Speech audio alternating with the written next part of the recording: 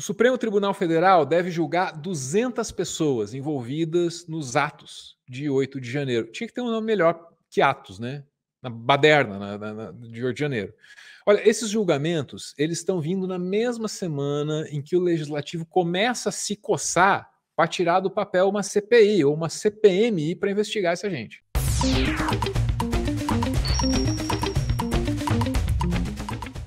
Ana, tem julgamentos aí no Supremo Tribunal Federal, 200 golpistas ou bolsonaristas, chame como você quiser, de uma única vez. Bora recorrer aqui à TV Brasil, que é pública, é nossa e é de graça. E não dá strike. O Tribunal Federal começa amanhã mais uma etapa de julgamentos contra os envolvidos nos atos golpistas de 8 de janeiro. E termina hoje a análise dos primeiros 100 denunciados. Vamos a Brasília conversar ao vivo com a Patrícia Maia, que traz outras informações. Boa tarde, Patrícia. Outras informações. Boa tarde, Patrícia. Boa tarde, outras Davi. Info... Boa tarde. Ah, olha lá, ó. vazou o áudio. É porque a TV é pública, tenho certeza. Tem que privatizar a todos. O Supremo Tribunal Federal já formou maioria para tornar réus 100 pessoas acusadas de envolvimento nas ações de vandalismo contra o STF, o Congresso e o Palácio do Planalto. Oito ministros já deram parecer favorável. Faltam ainda os votos de André Mendonça e Nunes Marques. André Mendonça e Nunes Marques. Quem colocou estes dois ministros no STF? Jair Bolsonaro. São os únicos dois que não puderam, infelizmente, trabalhar em cima do caso aqui desses 100 bolsonaristas que foram pegos destruindo as sedes dos três poderes. Né? Eles estavam muito ocupados, justamente os dois indicados pelo Bolsonaro. Tiveram uma semana muito difícil. Por causa da aposentadoria de Ricardo Lewandowski, apenas 10 ministros votam nesse julgamento virtual. Que tem... Semana do André Mendonça foi, foi, foi tão difícil tão difícil a, a semana passada, tão difícil, que ele foi pegar o avião para voltar para casa no final de semana. Aí ele pediu lá para comissária um whisky e não tinha do, do de 18 anos, só do de 12. Você não pode exigir muito para uma, uma pessoa que passou por isso também. Né? Tenhamos bom senso termina às 11h59 da noite de hoje. Com o fim do julgamento, se os acusados se tornarem réus, serão abertas as ações penais contra eles. A partir daí, a Justiça começa a coletar provas e ouvir testemunhas para decidir se condena ou não ou absolve cada um. E ainda falando sobre os atos golpistas, o Supremo começa a julgar amanhã, também em plenário virtual, mais 200 denúncias contra envolvidos no 8 de janeiro. Da mesma forma que o primeiro julgamento, os votos serão depositados de forma eletrônica e não haverá deliberação presencial. Essa nova votação vai até terça-feira da semana que vem, dia 2 de maio. Maravilha. Então, no comecinho de maio, nós vamos saber o que, que vai dar aí para esses outros 200, Ana né? É uma safra atrás da outra. E aí, estamos falando do STF, vamos abrir mais um espaço aqui para CPI ou CPMI, porque o Lula estava em Portugal, aí perguntaram lá para ele, ô Lula, vocês não queriam CPI, agora querem. Por quê? Né? É, uma, é uma pergunta com a qual ele vai ter que lidar. É, é não queria, agora quer. Cadê? Cadê a explicação? Olha para você. Essas perguntas sobre o Brasil seria tão bom que fosse feita para mim quando eu voltasse ao Brasil. Porque fazer Aí também não, né, Lula? Não é assim que funciona, né? Uma viagem a Portugal, fazer acordos com Portugal, discutir assuntos de interesse do mundo e não só dos nossos países, e depois eu ficar respondendo perguntas de problemas internos do Brasil, não, não, não é muito justo para quem vai nos ouvir. Também não é justo com o jornalista que está ali na frente dele, tá? Não foi legal isso aí não, hein? Eu vou decidir essas coisas do GFI.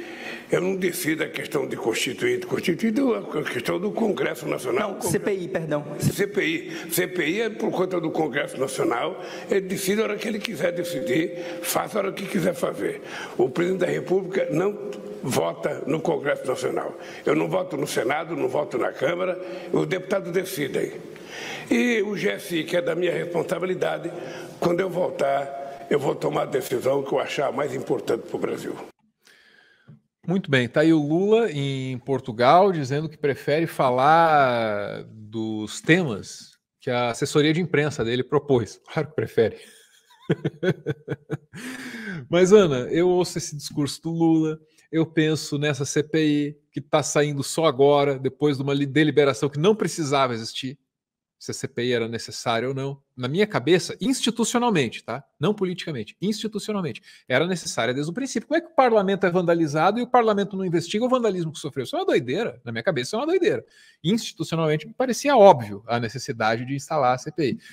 Agora, politicamente não era conveniente, ou julgaram não ser conveniente, pois refizeram o cálculo agora, não sei o que, que mudou, agora a CPI passa a ser conveniente.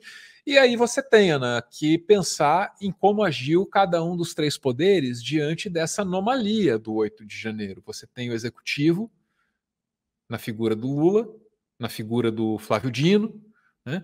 você tem o legislativo, andando para lá e para cá pensando em emenda RP9, em como mantém, mantém suas prerrogativas. Né? E você tem o STF, que parece que está andando melhor, está levando mais a sério isso aí. Olha, eu acho que o.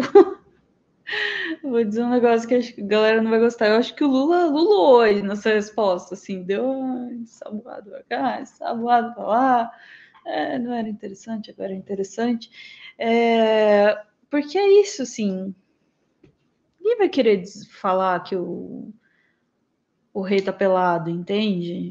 Dizer, ah, antes a gente não achava que ia dar boa pra gente, agora a gente acha que vai dar. Antes os bolsonaristas achavam que ia dar boa para eles, agora eles acham que não vai dar. E eles também não vão dizer, nós não queremos a CPI porque nós achamos que não vai dar boa para gente. Eles vão inventar alguma outra desculpa que a gente não está olhando, porque a gente né, não está vendo as, essas argumentações assim deles, né? É, aliás, isso é uma curiosidade, eu queria muito saber o que, que eles estão falando. Assim, qual é a justificativa para não ter uma CPI agora?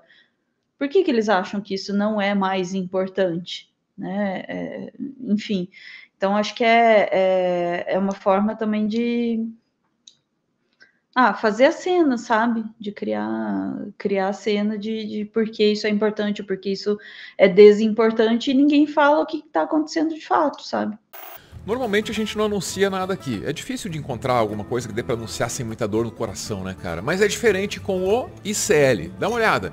É muito curso por um valor mensal que é muito baixo. Dá para aprender, sei lá, de italiano, Excel, espanhol, passando por robótica. E esses são só exemplos aleatórios que eu estou coletando aqui enquanto converso com você. Sei lá, ó, economia comportamental. É muita coisa. E é muita coisa com um nome muito foda. Que tal Gessé Souza, Leonardo Boff, a Marilena Chauí, o Noam Chomsky, o Miguel Nicoleles. É impressionante que os caras tenham conseguido juntar toda essa galera. São mais de duas mil horas de cursos online, em vídeo, com alguns dos maiores nomes que o Brasil e o mundo podem oferecer em cada área. Quanto custa? Olha lá, ó. a partir de 47 reais mensais. E claro, clicando nesse link que está aí na tela, também vai estar tá fixado nos comentários, você ajuda o Meteoro, porque aí pingãozinho aqui pra gente. Então, avalie as suas possibilidades financeiras com muito cuidado e se tiver como, invista em educação. Dá uma olhadinha lá nos cursos do ICL, considere dar uma ajuda aqui pro Meteoro, mas claro, só se você quiser. Valeu!